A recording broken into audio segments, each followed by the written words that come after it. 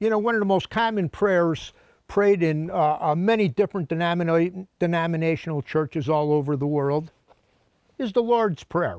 This is an interesting book. This whole book was written about the Lord's Prayer and every little meaning of the words and everything. And it was really an interesting read to me.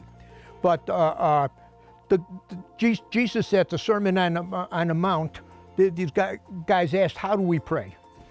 And here, Jesus said it was really simple. Here's what you do Our Father who art in heaven, hallowed be thy name. Thy kingdom come, thy will be done on earth as it is in heaven. Give us this day our daily bread, and forgive us our trespasses, as we forgive those who trespass against us. And lead us not into temptation, but deliver us from evil. However, Protestants add the following sentence to the end of Our Father For thine is the kingdom, the power, and the glory forever and ever. And then it goes on to explain why, why uh, Catholics and Protestants uh, uh, do things just, just a little bit different. But, uh, you know, when I read through all of this stuff, what difference does it make? Does it really make a difference if that last sentence is there or not? Does it? You know, so much of the issues I believe that we have in our churches today is lack of unity.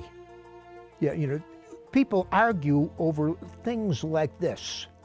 And, and I mean, massive meetings and, and upset and, and uh, God's word is pretty clear, pretty simple. If you're honoring Him with the Lord's Prayer, and uh, to me, it doesn't make that much difference. Uh, uh, uh if, if the body of Christ, and that's what the Bible calls us, the body of Christ, it's not the church that you belong to. There is no denominations in heaven. Because Jesus is pretty clear on that. He calls the believers the body of Christ, whether you're Catholic, Protestant, and then all of the different uh, uh, uh, divisions after that. But the body of Christ is a, a, a group of like-minded believers. And sometimes I look at this stuff and read the, the uh, arguments about it, and I think that's pretty petty. That's pretty petty. Can't we gather around the Word of God and, and uh, uh, uh, just give Him praise, glory, honor, and thanks for the truth and power of His Word. Thank you, Jesus, for dying for my sins, raising again, sitting at the right hand of the Father. Yeah, yeah, you know, forgive me of my sins and turn my life over to Him, and it makes no difference.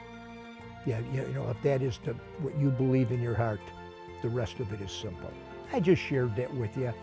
I don't know what you believe. I don't know what you're going to say. But I just felt like I needed to share that with you. Hopefully it resonates like it did to me. Doesn't make too much difference as long as you're honoring God, particularly in this case. Hey, from all of us here at The Edge, you have a good, safe fishing season. We'll see you on the water.